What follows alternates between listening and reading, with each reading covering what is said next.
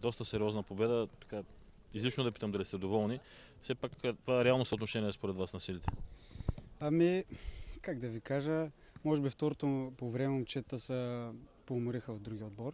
Първото по време ние бяхме така малко объркани с човек повече и малко пропуснахме доста положения, но аз им казах на момчета, че второто по време ще играем много по-добре и закономерно бихме с голям резултат, но смятам, че не е чак толкова реален, защото те мисля, че момчета не се събраха. Те са доста стоеностен отбор. А, до сега нямате загуба, доколкото знам. Нямам, да. Смятате ли, че сте фаворит, отбор фаворит? Не, не смятам, че сме фаворити, но все пак един отбор винаги трябва да има цел и нашия отбор винаги се стреми да е в първите места, така че гоним винаги високи цели. Виждате, че сте добър отбор. А, имате ли равностойни резерви като цяло? Можете ли да ротирате състава?